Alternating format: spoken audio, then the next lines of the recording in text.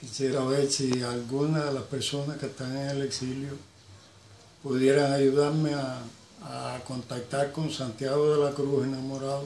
Estuvimos presos en Isla de Pino en la década de los 60. Ahí estuvo también el tío mío, Diógenes Alarcón Naranjo, más conocido por Pai.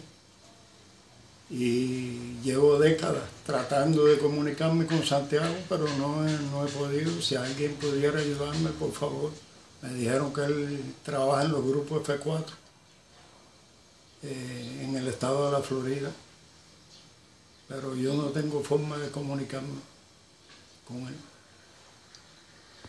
Le ruego a las personas que puedan, pues, si pueden ayudarme, se los voy a agradecer